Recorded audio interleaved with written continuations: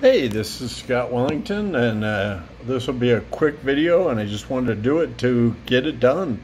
I'm trying to get in the habit of just doing it. Um, it's a little challenging some days, but uh, what I'll say today is believe you're enough. If if if whatever you need, you tell yourself you're enough, and um, stop stop pulling yourself down. When i lived on the islands um, we took crab right out of the ocean and we put them in a pot on top of a fire and we put them in the pot and we didn't put a lid on it. And i turned to the local and uh, the Palauan that i knew and i said hey shouldn't we put a lid on that or put rubber bands on their little clipper feet or fingers or whatever and the Palauan told me, no, here's what's going to happen. If any one of them tries to escape, the other crabs will pull it back into the hot water.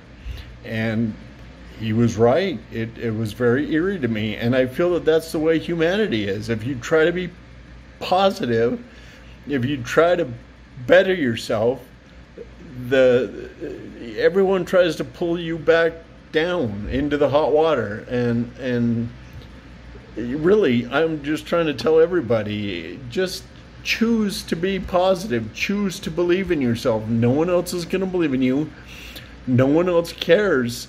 But at the end of the day, what matters is what you think about you. And it's like, honestly, that's going to fix everything. Give yourself the permission to succeed, to achieve your dreams. And you have to give yourself the permission every minute, every second, every day, seven days a week, 365 days a year. Do it all the time. Fight the negativity.